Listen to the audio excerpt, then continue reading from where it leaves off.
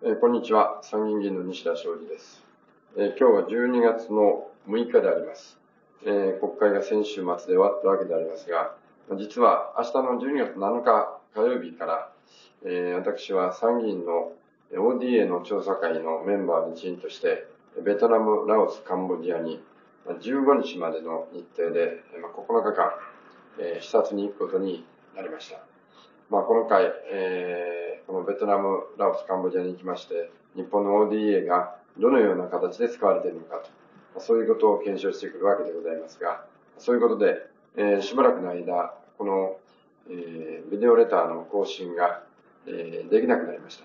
まあ、ただ、えー今調べてますと、えー携帯電話が多分通じるようになってですので、まあ、現地から携帯電話を使っての、え更新をしようかなと思ってますが、え実際には、え非常にこの画質の荒い、え画像で、しかもまあ1分ぐらいしか、1分弱しかできないのであります。えどういう形になるかわかりませんが、まできるだけ、ま、現地の様子も伝えていきたいと思っております。まその前に、まこれから年末にかけてのこの政治の動きでありますけれども、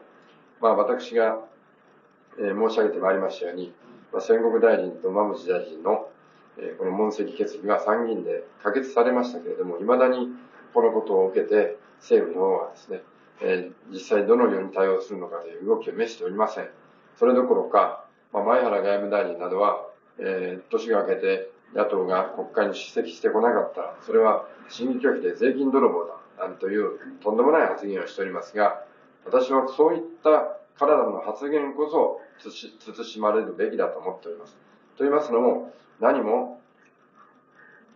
戦国さんやママブシさんに気がなくて、我々が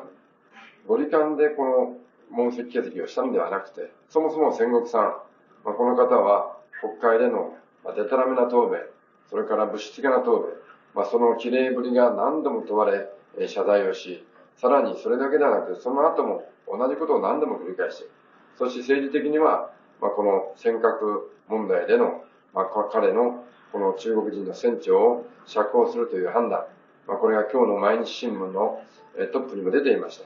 今まで彼らが言っていた説明とは、やっぱり違って、政府の内部で、この APEC をえ成功させがいさせたいがために、まあ、こういう判断をしたわけでありますけれども、これが、まあ、まさに、えー弱腰外交だということで、まあ、この菅政権の支持率を一挙に下げる原因を作ったわけでありますが、まあ、こういうことに代表されますように、まあ、この戦国さんという方には、まあ、自分の立場を守る。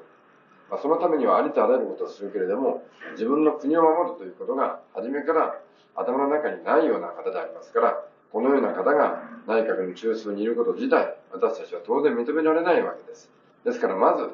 こうしたことを参議院という国会が、その一員が決議をしたわけでありますから、そのことをどのように彼らが捉えるか。民主党が今まで言ってきた論理によると、一番新しい民意は我々参議院にあるわけでありますから、その参議院の民意を受けて、彼らが反省しなければならない問題であるにもかかわらず、それをですね、まあそういうことで審議を、審議に出てこない参議院側、野党側が間違ってるなんていうことを言う前原大臣の感覚というのは私は許せないと思っております。まあ、早晩この方も問責決議が出ることになるでしょうけれども、まあ数え上げれば、キリがないほど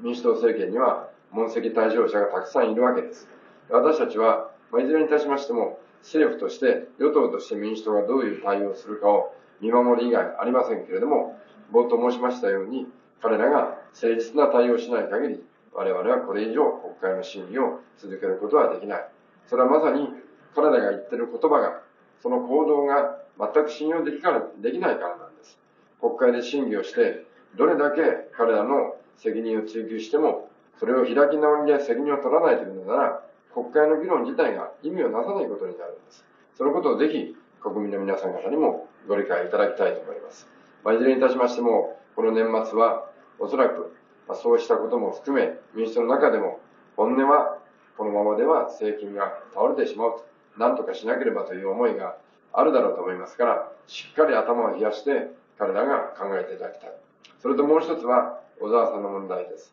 小沢さんが、えー、先の衆院選挙で仲間の議員に、まあ、4億5000万を超える、まあ、大きな金額をですね、配っていたということが明らかになりました。今更ながら彼のこの資金力というのには、まあ、本当に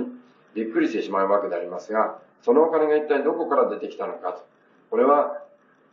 今、今まで私が散々国会で追及してきましたように、結局はあの方の個人の財布の中から出てるわけです。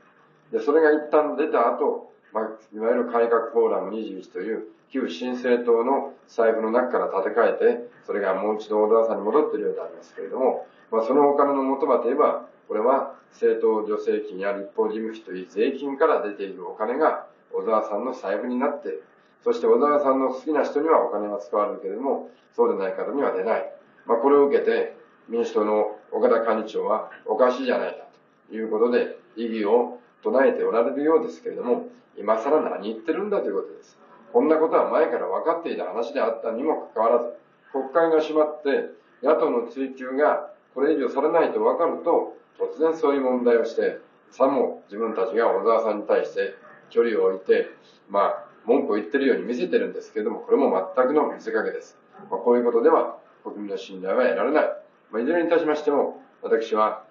この民主党の体質をこれからも皆さん方に厳しく追求してお知らせしていきたいと思っております。またベトナムから皆様方にお便りを出せればと思っております。今後ともよろしくお願いします。ありがとうございました。